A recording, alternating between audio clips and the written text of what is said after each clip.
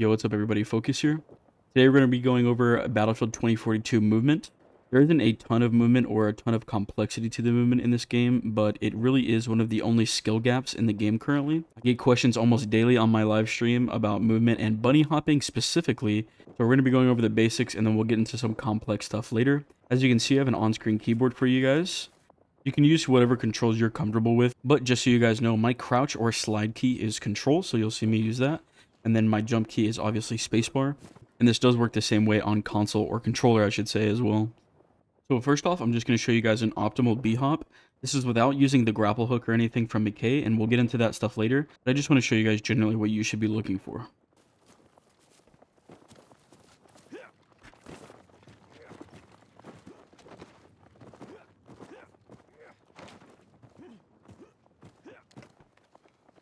So as you guys can see, you can get super far with it as long as you do everything correctly. We're going to break it down step by step so you guys can kind of see what I did. So as you can see, I jumped off something to give me momentum. And then I also slide into the first jump to give me even more momentum. And then from there, it's simply just pressing the spacebar and not pressing any of your movement keys afterwards. You can also see that after every jump, I'm losing quite a bit of momentum. So I'll slide jump again to reset the loss of momentum and also gain a little bit more Alright, so just to go over it with you guys one more time, we'll jump and slide into our first jump. After our third jump, we can slide jump again. And then just repeat that process until you're completely out of momentum. Try to ignore if I'm pressing my number keys in the middle of all this. For some reason I do that. It's just kind of a timing thing to remind myself when to jump.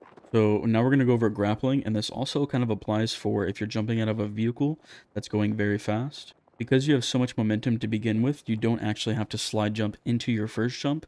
You can just continue bunny hopping until you see that loss of momentum, and then you can choose to slide jump again. But for Mackay, you can pretty much grapple off of anything to do this. You just have to make sure that you cancel the grapple before you actually reach the grapple hook. We're only using the grapple to gain momentum, and then once you have that momentum, you can just cancel it. For example,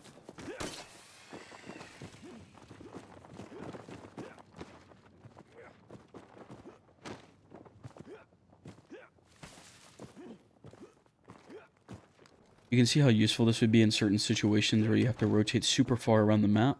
Using this movement in general will put you in positions that people really don't expect and will get you a lot of free kills. I go over this in every coaching lesson that I have for a reason. The more comfortable you are with it, the more you'll start seeing yourself in positions that people don't expect and seeing yourself win gunfights that you usually didn't. Last thing we're going to go over in this video is movement in gunfights. More often than not, you'll just see most players AD strafing or just a single strafing to one side or the other. Ideally, especially in these close range situations, you'll want to jump in your gunfights either way to throw off the aim of your opponent. You'll see that I do this in almost every gunfight that I have within a 20 to 40 meter range in this game.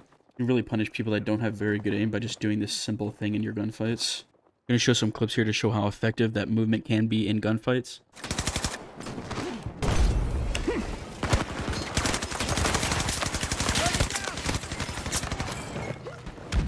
Ammunition!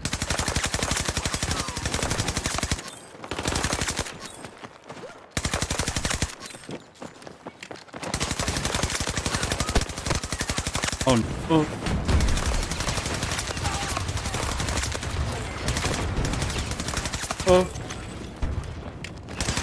oh.